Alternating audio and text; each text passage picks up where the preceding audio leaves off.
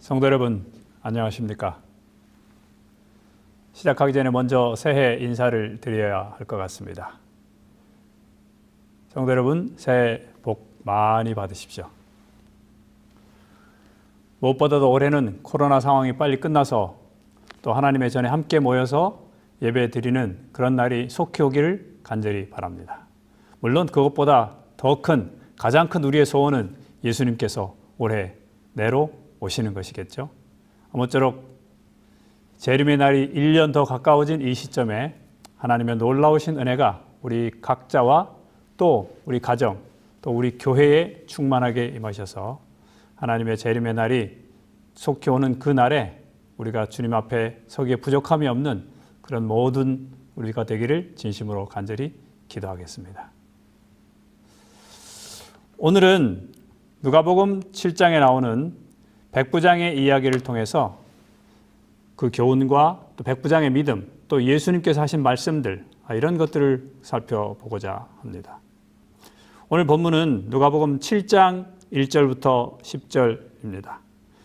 우리 화면으로 본문이 나가겠습니다만은 가능하시면 성경을 펴시고 말씀을 같이 낭독해 주시면 고맙겠습니다.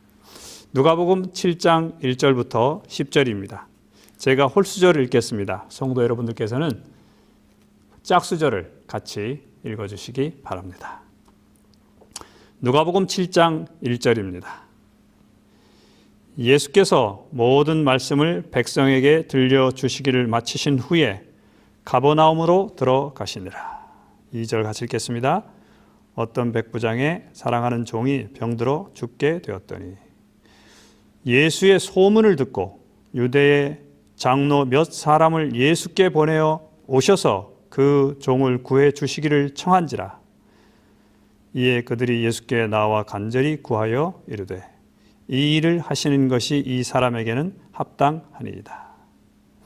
그가 우리 민족을 사랑하고 또한 우리를 위하여 회당을 지었나이다 하니 예수께서 함께 가실새 이에 그 집이 멀지 아니하여 백부장이 벗들을 보내어 이르되 주여 수고하시지 마옵소서 내 집에 들어오심을 나는 감당하지 못하겠나이다.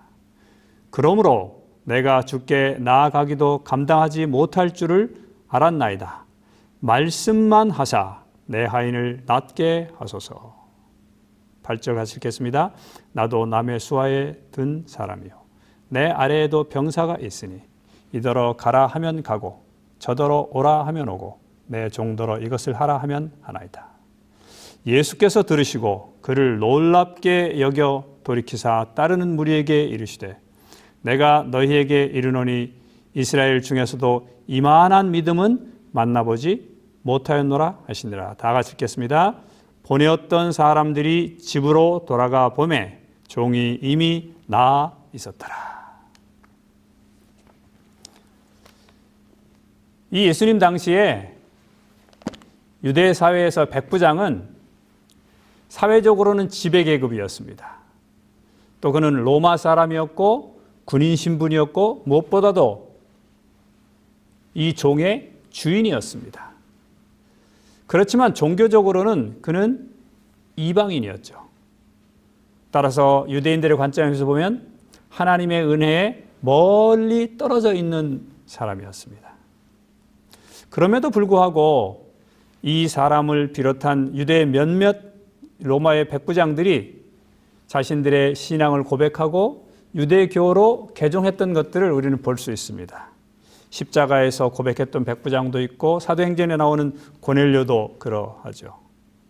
이렇게 유대교와 접촉했던 몇몇 로마의 경건한 군인들이 유대교의 하나님께 대한 믿음을 가지게 된 케이스들이 많이 있습니다. 이와 반면에 이 종은 어떠한 존재입니까?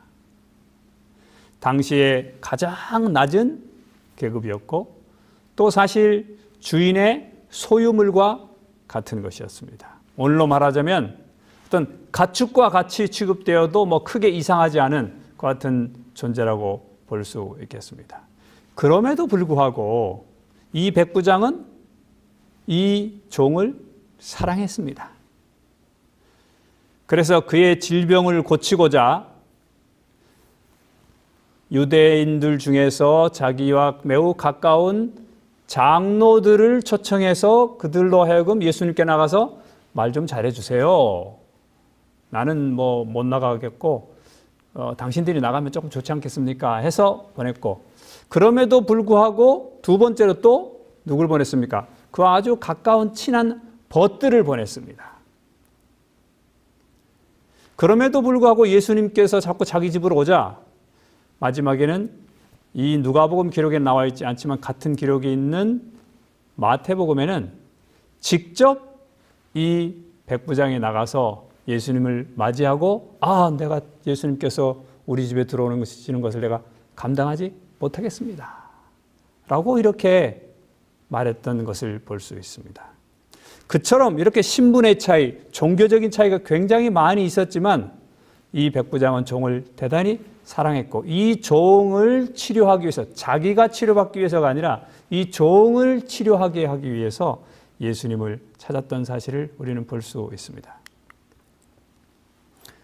근데 오늘 본문에서 이 치유를 이 병자를 치유해 줘야 되는데 그 근거가 무엇이냐? 유대의 장로들의 생각은 이런 거였습니다.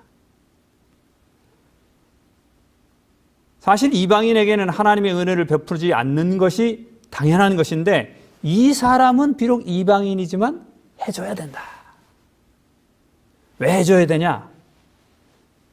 이 사람이 하나님의 자손들인 바로 자기들에게 선한 일을 했기 때문이다. 라는 것입니다.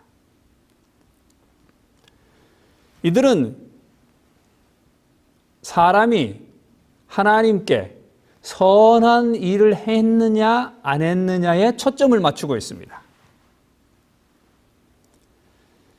사실 대부분의 사람들은 하나님의 은혜에 대해 생각할 때마다 그가 받을 가치가 있나? 혹은 뭐 내 자신에 대해서 마찬가지입니다. 내가 하나님의 은혜를 받을 가치가 있나? 하는 사실을 뭐에 비추어 생각합니까? 내가 그동안 선하게 살았나? 내 지나온 소위 업적이 지나온 과거가 이렇게 하나님께 은혜를 받을 만큼 하나님의 치유의 능력을 받을 만큼 혹은 좀 더 나아가서 하나님의 구원을 받을 만큼 나는 그런 선한 삶을 살았나? 하는 것들에 초점이 맞춰져 있습니다. 행위와 상태에 관심이 있고 그건 또 과거에 맞춰져 있죠. 그래서 구원이란 혹은 치유함이란 혹은 하나님의 은혜는 무엇인가? 그것은 과거에 내가 했던 것에 대한 상 혹은 벌로 생각하는 것입니다. 또 반대로 어떤 사람이 잘 되었으면 그가 무엇을 했기에 그랬나? 어떤 착한 일을 했나? 아, 이런 것들에 초점이 맞춰져 있는 것이죠. 그런데 인간의 구원에 대한 예수님의 생각은 좀 다르신 것 같습니다. 가치와 자격은 예수님의 사실 관심사가 아니죠. 종이냐, 혹은 뭐 야이로의 딸이냐, 혹은 그보다 더 높은 지위에 있는 어떤 사람이냐, 이것은 사실 예수님의 사, 사역을 살펴볼 때 중요한 문제가 아니었습니다. 가치와 자격은 예수님의 관심사가 아니었습니다. 왜냐하면 하나님의 손에서 이미 탄생될 때 우리의 가치는 정해져 있죠. 하나님의 자녀라는 것이 정해져 있습니다. 그래서 아무도 감사하지 않을 때라도 심지어는 그의 제자들마저 도망가 버렸을 때라도 그들 모두는 다 예수님께 이미 가치가 있는 존재였습니다. 그래서 모두가 다 주님을 버렸지만 그럼에도 불구하고 예수님은 그들을 위해서 돌아갈 만큼 그들은 예수님께 가치 있는 존재였다는 것입니다. 그래서 사실상 우리는 예수님께 우리 자신의 가치를 인정받게 하기 위해서 무엇을 하려고 할 필요는 없습니다. 그것은 우리 대부분의 사람들의 생각과는 대단히 다릅니다. 예수님은 과거에 내가 어떠했는가에 초점이 맞춰져 않고 그 사람이 어떠했는가에 초점이 맞춰져 있지 않고 현재 또 미래에 그 사람이 어떠한가 것에 맞춰져 있는 것입니다. 또한 이 하나님의 은혜가 그에게 유익한 것인가 하는 것에 초점이 맞춰져 있는 것이죠. 그것이 복이 될 때 하나님은 과거의 삶에 어떠하든 간에 하나님은 은혜를 베푸시는 것입니다. 그러므로 구원은 과거에 우리가 어떤 선한 거나 악한, 악한 일을 했기 때문이 아니라 앞으로 주어질 영원한 시간, 우리가 영생이라고 말하지 않습니까? 이 영원한 시간이 송창호라는 사람에게 주어질 때 과연 이것이 송창호에게 복이 될 것이냐 혹은 화가 될 것이냐에 따라서 하나님은 우리에게 영생을 주십니다. 그것을 판단하실 수 있는 유일한 분이 누구세요? 하나님밖에 안 계신 것이죠. 그럼 우리는 자꾸 과거에 초점을 맞추면 내가 과거에 어땠어, 그 사람이 과거에 어땠어, 또 이것에 초점이 맞춰지면 하나님의 은혜는 그것이 아닙니다. 이 사람에게 영원한 시간이 주어졌을 때 어떠할 것이냐. 그것은 오직 나의 행실이 아니라 동기와 그 마음의 중심까지 볼 수 있는 정말 말 그대로 완전한 심판하실 수만이 하실 수밖에 없는 그분만이 줄 수 있는 것입니다. 그래서 여기에 이런 말씀이 있습니다. 치료봉사 161쪽. 은혜는 은혜 받기에 합당치 못한 인간에게 나타내신 하나님의 태도이다. 우리가 은혜를 찾는 것이 아니고 은혜가 우리를 찾아왔다. 우리가 하나님의 자비를 간구하는 유일한 이유는 우리에게 그 자비가 크게 필요하기 때문이다. 사랑하는 성도 여러분, 우리가 하나님 앞에 나아가서 은혜를 간구하고 은혜를 받을 수 있는 자격은 그것이 필요하기 때문입니다. 지나온 나의 삶이 어떠한 것이 아닙니다. 이 유대인의 이 장로님들처럼 지나온 과거 동안 그가 선한 일을 했기 때문에 이, 사람에게 도움을 줘도 됩니다. 이 사람을 치유해도 됩니다. 이 사람의 부탁을 들어도 됩니다. 이런 개념이 아니라는 것이죠. 예수님은 그 사람이 나아야 되기 때문에 또는 좀 더 나아가서 이 백부장의 믿음을 좀 더 굳건하게 하실 필요가 있었기 때문에 하신 것이지. 그가 어떤 선한 일을 했기 때문에 그런 것이 아닙니다. 우리의 삶에도 마찬가지입니다. 예수님은 우리에게 늘 은혜 베푸시기를 원합니다. 그런데 우리가 하나님께 은혜를 구하지 않고 있습니다. 왜? 과거에 내가 행했던 여러 가지 것들이 나의 발목을 잡고 있기 때문이죠. 이제 그 모든 것들을 뒤로 하고 이제 이 새로운 한 해는 새로운 은혜를 주시기를 원하는 예수 그리스도의 놀라운 풍성한 은혜 앞에 우리 자신을 드리고 그것을 구하고 그것을 감사함으로 받고 누리시는 우리 모두가 되기를 진심으로 간절히 바랍니다.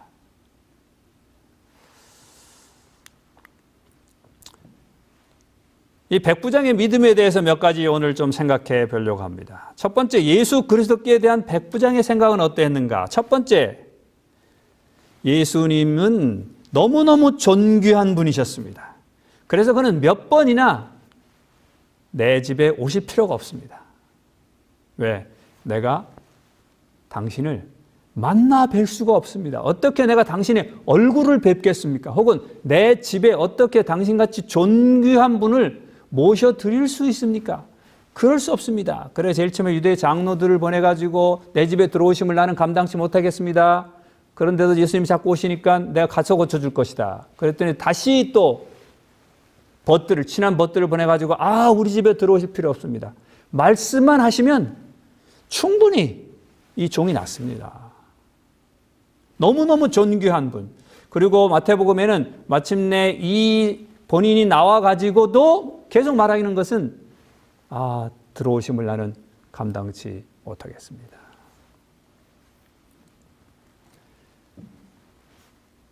베드로가 예수 그리스도께서 메시아임을 확신한 다음에 했던 첫 번째 말씀도 무엇입니까? 그것은 주여 나를 떠나소서. 나는 죄인으로 소이다. 하나님의 면전에서 하나님의 본질을 이해하고 하나님이 어떠한 분이신지를 깨달은 사람들마다 했던 그 부르짖음은 나는 부정한 사람이다. 그분은 너무 존귀하신 분이다. 것입니다. 우리가 하나님 앞에 나아갈 때, 우리가 예배를 드릴 때, 우리가 무릎을 꿇을 때, 우리가 하나님의 면전에서 내가 무엇인가를 하고 있다는 그런 개념을 가질 때마다 우리가 생각해야 될 것은 하나님은 너무너무 존귀한 분이시다. 하는 그런 생각입니다. 바로 이 백부장이 했던 것처럼 말이죠. 그는 또 예수 그리스도야말로 세상의 모든 것의 주인이라고 생각했습니다. 여기에 그가 얘기했던 것처럼 이 종이 자신의 종인 줄 알았어요. 왜냐하면 여기서 물 좀 다오. 물을 가져오고. 이 심부름 이렇게 시키면 바로 가서 그거 하고. 소위 말해서 죽으라 그러면 죽는 신용까지 하는 바로 그 같은 종이었기 때문에 그 종은 자기 종인 줄 알았어요. 자기가 말하면 다 듣는 그런 진짜 자기의 종인 줄 알았습니다. 그런데, 어, 진짜 자기의 종이면 이 사람이 지금 아픕니다. 아픈데 주인인 자기가 뭐라고 말하면 야 그만 아파 빨리 나 빨리 나와서 내 물 떠와야지 이러면 벌떡 일어나서 또 와야 되는데 아 지금 어떤 상황입니까? 안 되는 것입니다. 너 일어나 안 일어나는 거예요. 못 일어나는 것이죠. 그때 그는 깨달았습니다. 아, 내가 이 사람의 진짜 주인이 아니구나. 그럼 누가 진짜 주인인가? 이 사람에게 말해서, 야, 너 일어나. 그만 자리 털고 했을 때 벌떡 일어나게 할 수 있는 바로 그 사람이 진짜 주인이구나. 라는 사실을 깨닫게 된 것입니다. 그렇습니다, 여러분. 때때로 우리는 우리 자녀가 내 자녀라고 생각합니다. 내 직장, 뭐 죄송합니다. 표현이 부하가, 그죠? 내 아랫사람이 내 부하라고 생각해요. 내가 마음대로 할 수 있는 내가 봉급을 주기 때문에 혹은 내가 직책이 높기 때문에 내 학생, 내 학생이라고 생각합니다. 그러나 여러분, 아닙니다. 왜냐하면 예수님은 이 땅에 계실 때 또 이스라엘 백성들이 이렇게 이 구약 시대를 쭉 보면 항상 이스라엘들이 어떠한 뭐 상황이 있든지 간에 내 백성이라는 표현을 한 번도 빼놓지 않으셨던 것을 볼 수 있습니다. 이스라엘에 많은 지도자들이 있었지만 그 지도자들에게 당신의 백성들을 위탁하시긴 했지만 그러면서도 항상 뭐예요? 내 백성 이스라엘. 그렇습니다. 우리 주변에 있는 모든 사람들은 하나님의 백성, 직접적으로 하나님의 자녀이고 하나님의 소유입니다. 혹시 우리가 어떤 직책 때문에 혹은 어떤 우리 가지고 경제적인 것 때문에 혹은 우리의 어떤 책임 때문에 지위 때문에 우리가 그들과 함께 생활할 수 있고 그들에게 어떤 부탁을 할 수 있는 그런 위치에 있더라도 그들은 내 소유가 아닙니다. 또한 이 말씀은 우리에게 무엇을 생각하게 해줍니까? 내 인생 역시 뭐예요? 어떤 사람이 내 인생의 주도권을 갖도록 하면 되지 않는다는 것입니다. 진정한 내 인생의 주인은 누구인가? 바로 하나님 한 분밖에는 없습니다. 나는 하나님 앞에 내 주변에 있는 어떤 사람 때문에, 내 목사님 때문에, 내 부인 때문에, 혹은 내 남편 때문에, 내 자식 때문에 내 인생이 이렇게 망가졌어요.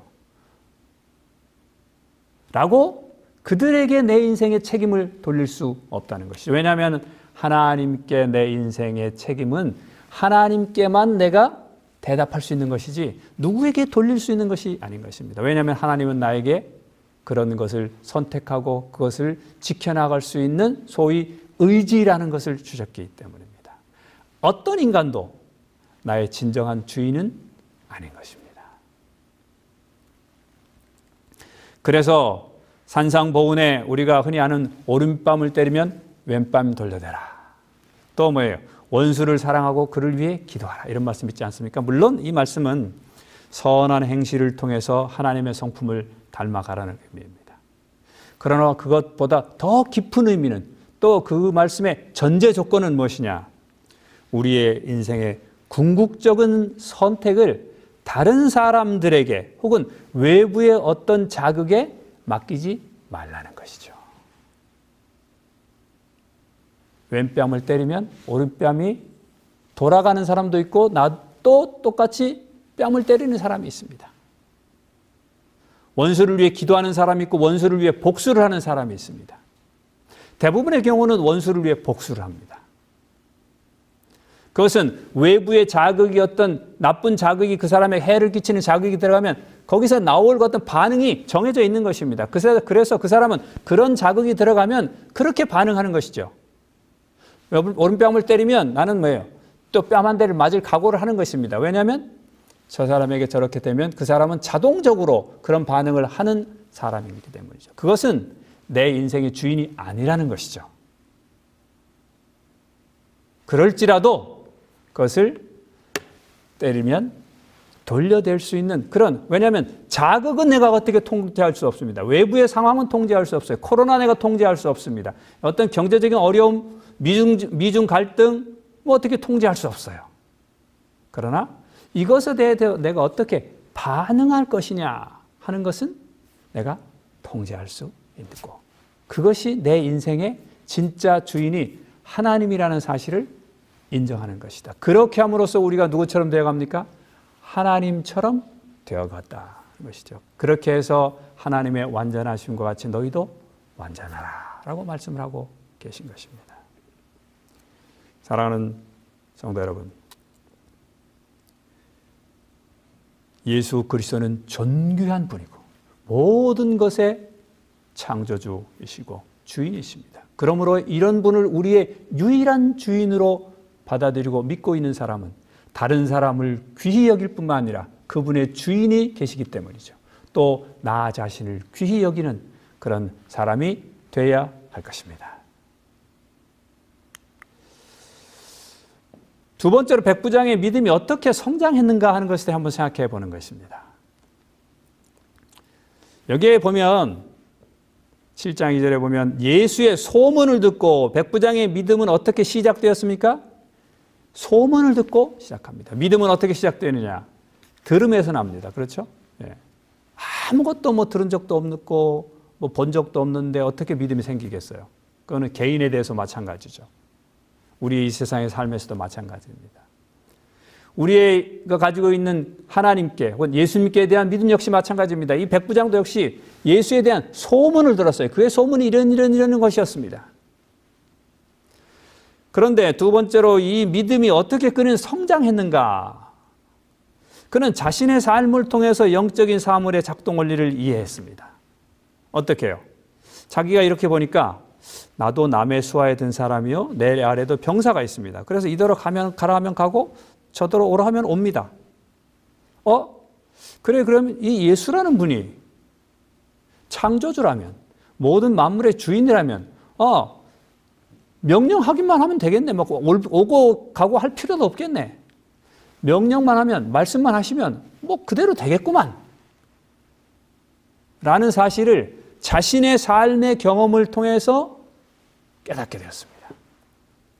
제일 처음에 다른 사람의 경험, 다른 사람의 이야기, 다른 사람들이 책 써놓은 거, 뭐 이런 것을 통해서 그가 하나님에 대한 믿음을 가지기 시작했지만 그것이 어떻게 성장했느냐? 자신의 어떤 삶을 경험을 통해서 그가 그것을 성장하게 된 것입니다.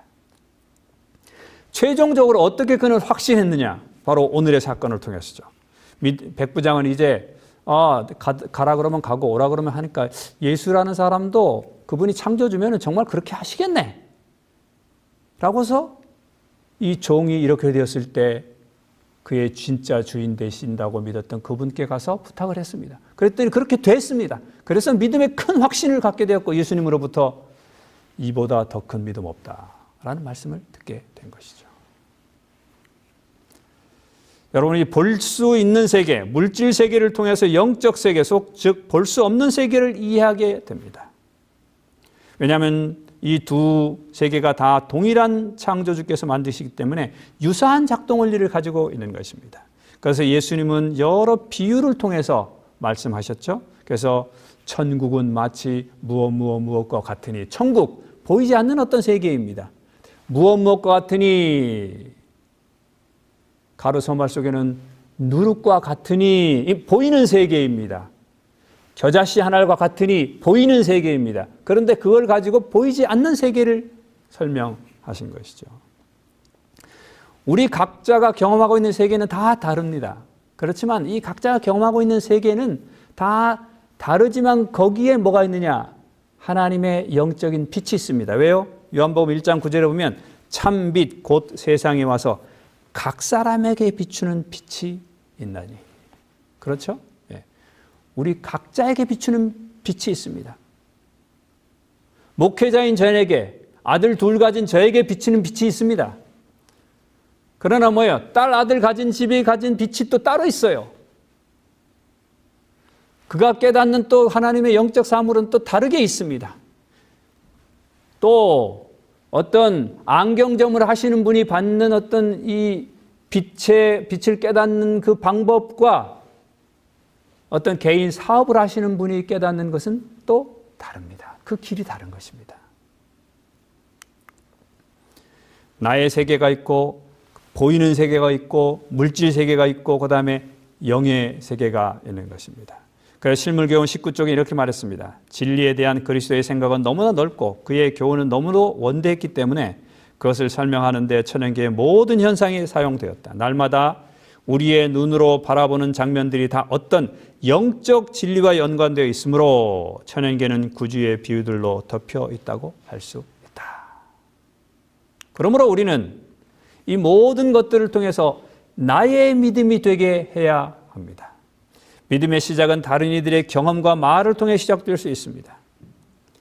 그러나 이제 우리의 자신의 경험을 통해 우리가 각자 이해, 각자가 이해하는 방법으로 하나님의 세계에 대해서 이해를 넓혀 가야 합니다. 여러분, 지금 우리는 코로나 시대를 경험하고 있습니다. 그런데 이 코로나 시대에 우리는 어떠면 나의 믿음의 민낯을 경험하고 있다고 해도 과언이 아닐 것입니다. 또 사실 앞으로 예언적으로 우리는 언젠가 이 교회라는 현재의 우리가 가지고 있는 이런 조직체가 주님 오실 때까지 영원히 있을 것이다. 라는 것은 우리가 생각하지 않고 있죠. 지금의 이 조직체가, 지금의 이 목회자, 목회자들이, 지금의 이런 어떤 방문 제도가, 지금의 예배 제도가 주님 오실 때까지 계속 이어져서 나의 신앙을 지켜주고 나의 믿음을 계속 굳건하게 지키는데 도움을 줄 것이다. 라는 것을 우리는 받아들이는데 어려움을 갖고 있습니다. 그래서 어쩌면은 하나님께서 이 코로나를 통해서 우리가 전대미문의 경험을 하고 있지만은 그러나 이 코로나 시대를 통해서 우리는 어쩌면 조금은 좀 평안하게, 좀 불편하긴 하지만 그래도 비교적 평안하게 미래 올 세상에 대한 예방주사를 맞고 있는 것이 아닌가 생각해 보는 것입니다. 그동안 우리가 의지하던 모든 것이 사라질지라도 주님과 나와의 관계를 굳게 할 수 있는 그런 어떤 논리를 지금 이 언택트 시대에 다른 성도들을 만날 수 없는 시대에 교회 함께 모여서 으쌰으쌰 하면서 하늘을 향해 가는 그것이 아니라 다 각자 떨어져 있으면서 어떻게 미래에 올 이 상황들을 우리가 준비할 것인가를 생각하고 깨닫고 내 나름대로의 논리를 개발해가는 바로 그런 시대가 지금이 아닌가 생각해 보는 것입니다. 그러므로 성도 여러분, 이제는 목사님의 설교가 아니라 어떤 장로님의 간증이 아니라 혹은 어떤 분이 쓰신 어떤 글이 아니라 바로 내가 경험한 그리스도를 통해서 그리스도께 대한 내 개인의 믿음, 그 어떤 것이 지금까지 그렇게 설교를 잘하고 혹은 그렇게 나의 믿음에 도움을 주셨던 어떤 분이 혹시 잘못되더라도 내가 경험한 하나님이 계시기에 그것 때문에 나는 주님 오실 때까지 이 믿음을 굳게 지킬 수 있는 그런 귀한 경험들을 이 예방주사 기간에 꼭 경험하시게 되기를 간절히 바랍니다. 우리가 유명한 말씀이죠. 세 번째로 백부장의 말씀은 말씀으로만 하옵소서입니다. 말씀만으로도 충분하다고 믿었습니다. 올 필요가 없었습니다. 또 손을 댈 필요가 없었습니다. 사실 유대인들은 자주 이렇게 어, 와서 안수하거나 손을 대거나 심지어는 뭐 예수님께서 눈에 담은 진흙을 바르고 뭐 이렇게 해서 병을 낫게 하지 않았습니까? 그런데 이 사람은 아니에요. 그럴 필요가 전혀 없어요. 왜요? 자기의 경험을 보니까 전혀 그럴 필요가 없는 거예요. 가라 그러면 가고 오라 그러면 오니까 나라 그러면 낫는 겁니다. 그냥. 말씀만으로도 충분하다고 믿었기 때문에 말씀으로만 하옵소서 요청했습니다. 재림 성도는 역사상 가장 많은 말씀을 가진 백성이죠. 성경이 있습니다. 우리는 예언의 신이 있습니다. 또는 과학을 통해 밝혀진 천연 개의 말씀들이 있습니다. 역사를 통해 들려지는 말씀들이 있습니다. 지금 또 우리가 눈으로 보고 귀로 듣고 있는 이 징조를 통해 들리는 말씀들이 우리의 상황을 우리의 사방을 둘러싸고 있습니다.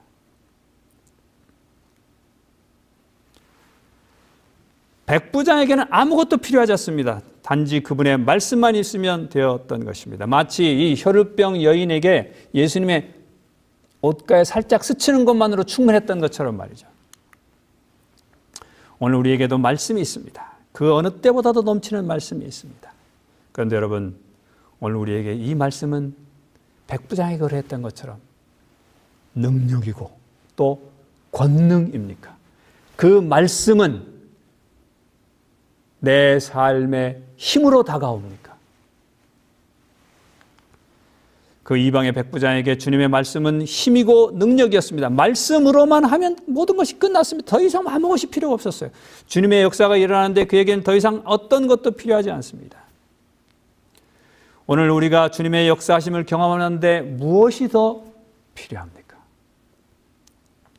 2000년 전에 이 이방 백부장에게 우리는 한없이 부끄럽습니다. 여전히 우리는 하늘에서의 불을 기다리는 나의 이 모습이 또 주님의 흔적을 땅이 갈라지고 커다란 폭풍이 몰아치는 곳에서 발견할 수 있다고 서성이는 나의 모습이 내 옆에 하나님의 말씀이 산더미처럼 쌓여 있는데 마치 그것으로는 불충분한 것처럼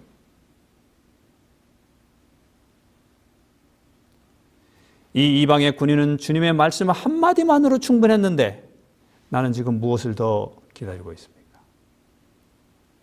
주님은 세미한 말씀 속에 이미 오래전부터 나에게 계셨는데 나는 그것을 계속 무시하고 무엇을 찾고 있습니까? 불을 찾고 있고 지진을 찾고 있고 거대한 바람을 찾고 혹시 있지 않습니까?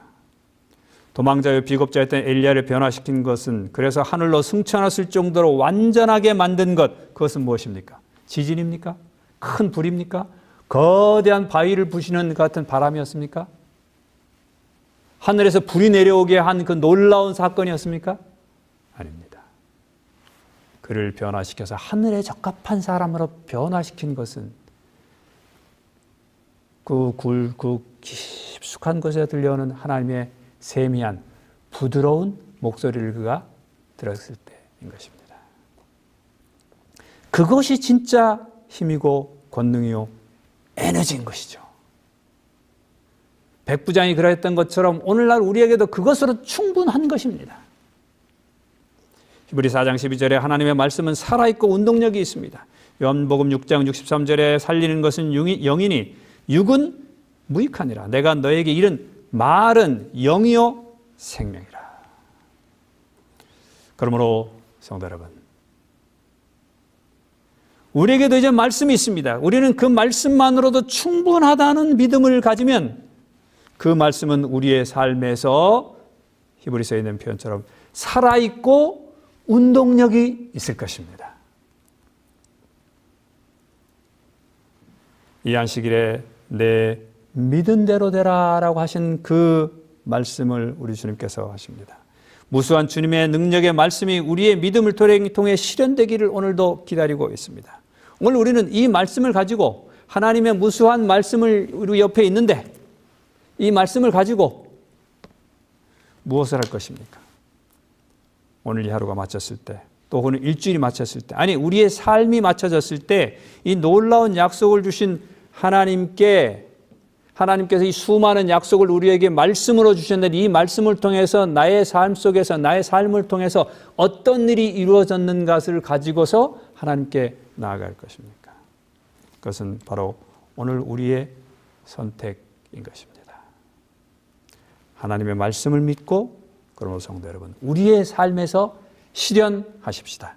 그것이 바로 교회라는 것이고 또 그것이 바로 성도라는 사람들입니다.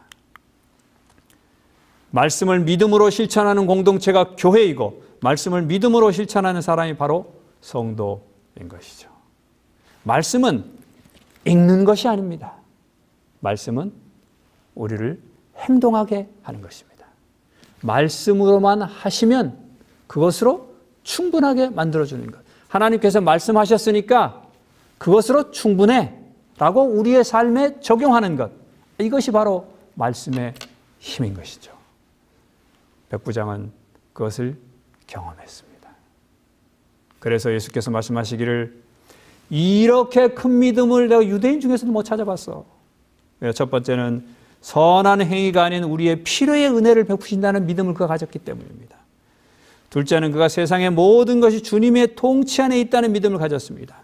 셋째로 말씀의 능력에 대한 믿음을 그가 가졌기 때문인 것이죠. 사랑하는 성도 여러분, 이제 또 1월이 거의 맞춰가고 있습니다. 남은 11개월 동안 혹은 앞으로 우리의 삶의 남은 기간 동안 이 백부장이 가지고 있었던 아주 단순하면서도 아주 커다란 믿음. 이 믿음을 우리의 마음속에 새기고 그래서 이 말씀의 능력이 그저 성경 책 속에만 있는 것이 아니라 또 과거의 역사의 어떤 사람들에게만 있는 것이 아니라 바로 이 시대를 살아가는 우리에게 구체적으로 나 자신에게 능력으로 다가오는 그래서 하루하루의 삶이 이 말씀이 나에게 어떻게 능력으로 역사하는지를 써내려가는 아름다운 같은 기록물들이 되기를 진심으로 간절히 바라면서 오늘 이 말씀을 마치겠습니다. 감사합니다.